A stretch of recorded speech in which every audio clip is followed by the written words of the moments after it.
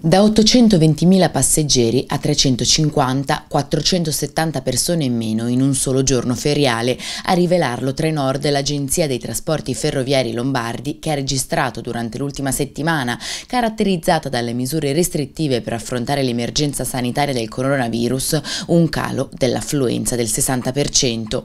Dati che risentono in particolare della sospensione delle lezioni negli atenei e nelle scuole e della decisione per molte aziende di attivare per i propri dipendenti lo smart working da casa e che hanno spinto Trenord a ridurre per questa settimana il servizio dell'8% delle sue 2300 corse programmate. Ma gli effetti collaterali del coronavirus iniziano a farsi sentire non solo per treni e ferrovie, ma in generale per tutto il sistema dei trasporti in Lombardia. A Malpensa e Linate, infatti, altre quattro compagnie aeree hanno deciso di sospendere temporaneamente i collegamenti con la città. Sono l'America Airlines e la Delta che interrompono i collegamenti collegamenti tra Milano e gli Stati Uniti fino al 24 aprile una e l'11 maggio l'altra. A chiudere le rotte anche la Turkish Airlines e la compagnia di bandiera israeliana El Al che addirittura ha interrotto i collegamenti con tutte le città italiane. Sospensioni di rotta che si aggiungono a quelle delle altre compagnie aeree che avevano già deciso di chiudere i collegamenti con il capoluogo lombardo come ad esempio la Bulgaria Air e la Korean Air